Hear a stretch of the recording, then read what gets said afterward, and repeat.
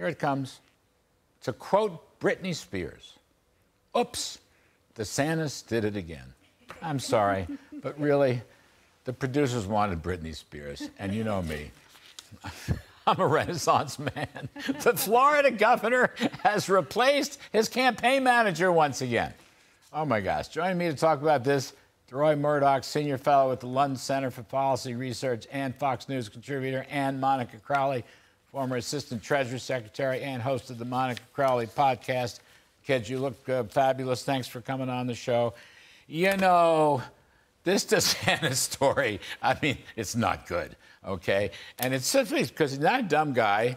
As I've said many times, he's genuine conservative, but it's a bungled campaign, the likes of which we've never seen before. I don't know if you saw the Maggie Haberman lead story in the New York Times website. It's up, uh, posted now, or it was an hour or two ago.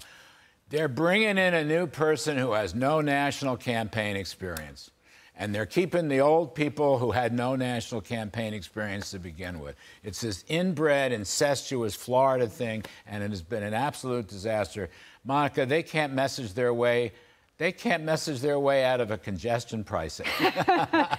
no, and it's really unfortunate because Governor DeSantis is literally the best governor in the entire country, probably the best Republican governor we have had in decades. Mm and yet he can't seem to find his footing. Look, there's a huge difference between being a very effective governor of a major state like Florida and running for president, and then it's something else entirely to run for president against Donald Trump. Mm-hmm. And Governor DeSantis is finding out exactly how difficult it is. Look, most Republicans are very wary about the donor class and the establishment class and the consultant class, and that includes Governor DeSantis. So he has wanted to surround himself with the people he knows and trusts in the state of Florida. While that's understandable, you were trying to run a national campaign. He needs somebody. And he needs other somebody. people. But look, the, the truth is, for all intents and purposes, this primary is over. Well, and so he can bring in an A team from God knows where, and he's still not going to gain the kind of traction he needs to overcome he's Donald never Trump. done it. I mean, it's, it's unbelievable, and he cannot message. I mean, he's tripped over himself so many times. He, he went all this far woke, DeRoy, and he spent the first half of his campaign fighting Disney. That's right. And then got entangled in legal arguments with Disney in the courts, which was a very dumb thing to do because that's all they ever talked about. And then he got very mean about it. So you had like the state of Florida attacking a gigantic business in your own in your right. own uh, state. That wasn't a good thing.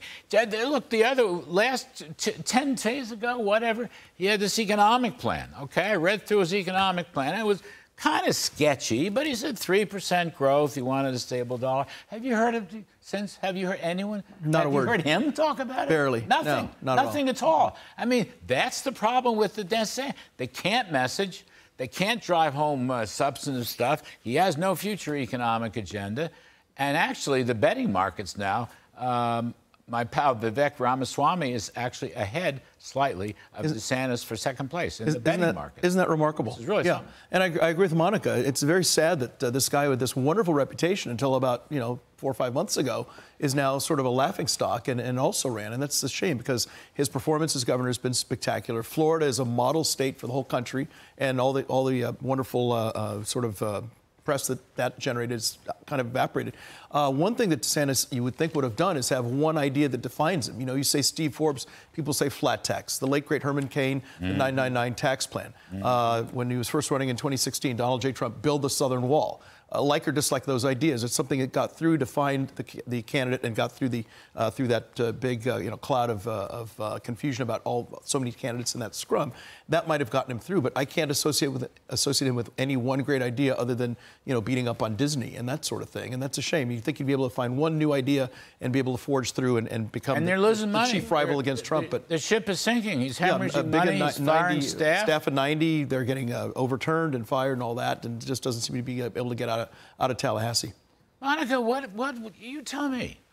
I mean, he stumbled over Ukraine. He stumbled way too far. I mean, nobody wants woke. I get that. But every single candidate had the same position, except he was just enmeshed in this. Um, like I say, he had an economic plan. He said it once. We have not heard it since. Right, Never. there's no follow up. What, what is his. You, DeRoy touched on it. I'm frustrated you run for president. There should be a reason, a reason you're running for president, okay? It's pretty clear why Donald Trump is running for president on the economy, on the border, on the establishment, cleaning up. What was his raison d'etre for president? As the alternative to Donald Trump. I think the consultant class and the donor class got to Governor DeSantis and said, look, you've had this spectacular record in Florida. You just want to a blowout reelection race. You are going to be the alternative to Donald Trump. And that argument did have traction. It was a legit argument.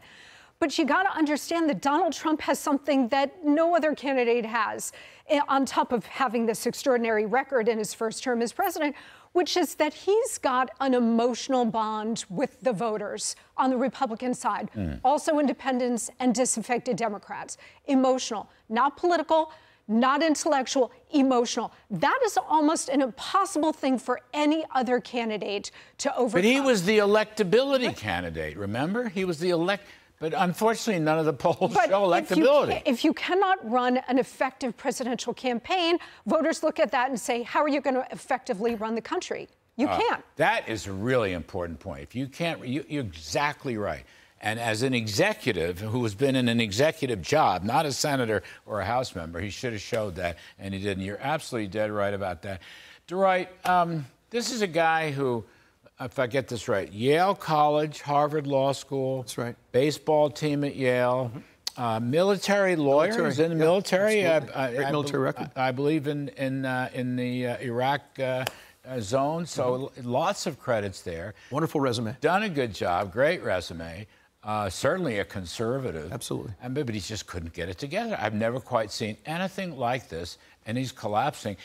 And look, you got to bring in. If you're going to do this I mean, you should have called Kellyanne Conway. By the way, Kellyanne Conway on this set months ago said the donors are always wrong. Yeah. And yeah. boy, I mean, she, she just absolutely nailed it. Now, DeRoy, one thing that really, um, really got my goat um, as an old civil rights Republican. Okay, look at, he has this thing for his Florida school curriculum that basically, talking about slavery, said there were some advantages, there were some I don't know, personal learning or personal services. Uh, and of course, Tim Scott just completely ripped him apart. Others have ripped him apart. This annoyed me no end, okay? Mm-hmm. I, this is very bad. There is not one tiny iota comma, anything good about slavery. No, I'm sorry, there, he never should have gone there. There's never, there's, never, there's never. No, nothing good to say. And the idea that you know maybe the slaves gained some skills. You don't you don't uh, uh, bless slavery as a giant jobs program, which it was not. There you go. It was there you America's go. original sin and something horrible. Thank God it ended. Now he did have some uh, curriculum standards saying that we should should teach about slavery, teach about some uh, racial uh, atrocities that took place in Florida. That was added to the curriculum. That was great. But then they had this extra thing about, as you say, personal services, or something like this. Total unforced error, totally unnecessary. Gets... I don't think he's pro-slavery, but it just gives, no, gives the other no. side an opportunity to attack. That's right. And the last just... thing you want to do is, is, is, give billy clubs to your enemies and let them knock you over the head with That's right. Thank you for that. Look, I mean, he just gets enmeshed, dogs, dog chasing tail in all these things, and at the end of the day, nobody knows what the hell. Anyway, I'm looking at this thing. Uh, Shane Goldmacher and Maggie Haberman, um, New York Times. DeSantis replaces campaign manager in major shakeup. Clock's ticking. He's going to hurt himself for the next go around. That's yeah, the other. He should have skipped 24 and waited until 20. Monica Crowley, DeRoy. Thank you, DeRoy Murdock. Appreciate